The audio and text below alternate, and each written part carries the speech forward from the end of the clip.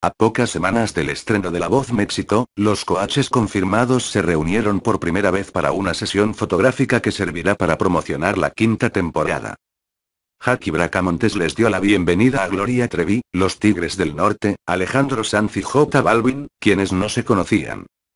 El productor Miguel Ángel Fox comentó esperamos haber tomado la decisión correcta al elegirlos, porque no se sabe si habrá química, y es muy temprano para saberlo. Es la primera vez que tenemos a coaches que no se conocían. Sobre el regreso de Alejandro Sanz, justificó nos lo había estado pidiendo por medio de las redes sociales. Nosotros no habíamos repetido como en otros programas.